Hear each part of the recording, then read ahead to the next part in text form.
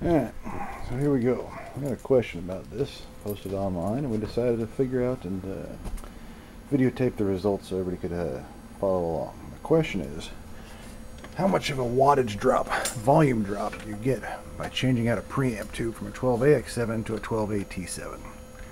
Or an AY7 or an AU7 or any of the variations thereof. Uh, this is just a, one of our own personal 18 watt style amplifiers. Uh, it's uh, we have a signal generator running into it.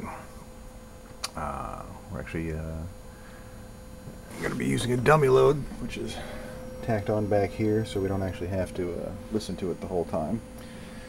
We do have the signal running through a little scope, just because, well, I like to. And then most importantly, we're following this right here, which is our AC volts on the output, which the amp is dimed right now, and it's at about 12.72 volts. This is with a 12AX7 in it.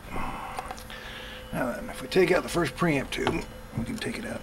I don't suggest doing that at home. And never work on an amplifier that's live and open and on and plugged in. Alright. And now we watch as the volts go up.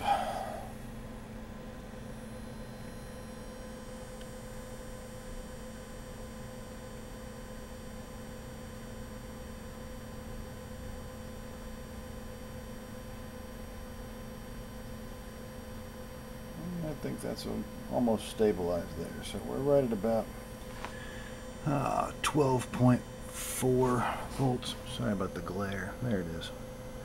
12.4 volts. And that's with a 12AT7. The 12.72 is with a 12AX7. Uh,